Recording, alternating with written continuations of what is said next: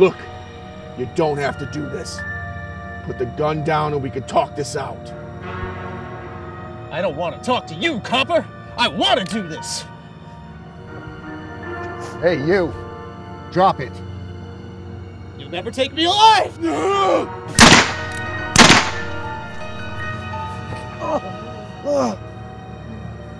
He shot me, Frank. He shot me. I don't think I'm gonna make it. You can't leave me. Just hold on until we can get you a doc.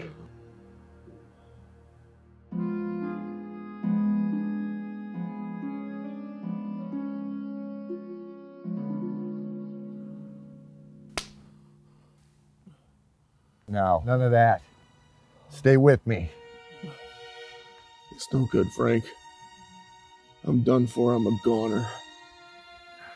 Frank, I got something to tell you, Frank. Go on, buddy. You know your sister, Maxine? I think I'm in love with her. Will you do me a favor, Frank? Will you tell her that with my dying words I was speaking about her? Sure, sure. What, whatever. Uh, if I could just have one kiss from her sweet lips, I could die a happy man. Well, unfortunately, she's not here, so that's not going to happen, huh? Well, that's the thing. You know how you're her brother. That makes you and her family.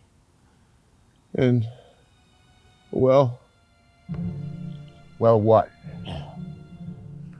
Well, I was thinking I could just close my eyes real tight like this.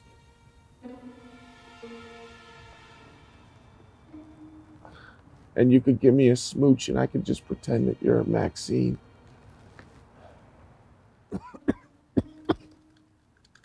you gotta hurry, Frank. I'm dying here. It's getting dark. I feel death's cold grip tugging at my heels.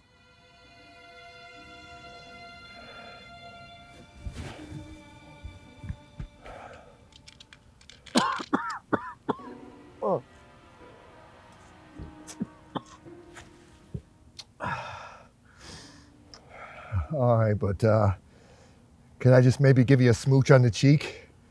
Oh, right here.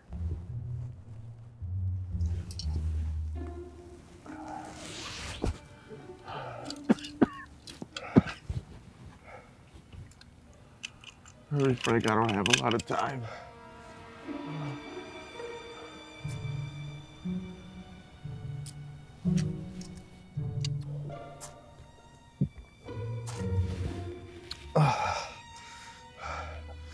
All right, but can you at least close your eyes, you mook?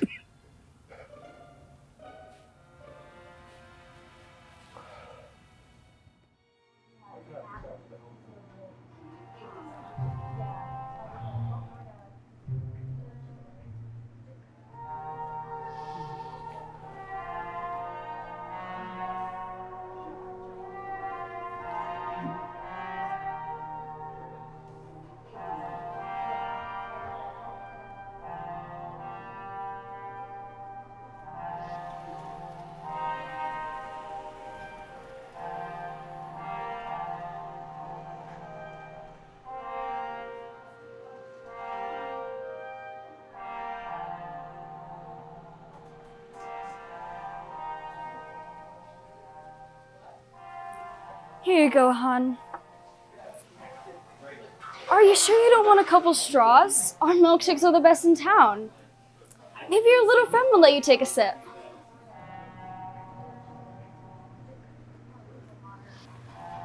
no thanks. Can I grab a couple of those straws? Here, in case you change your mind, okay? Thanks.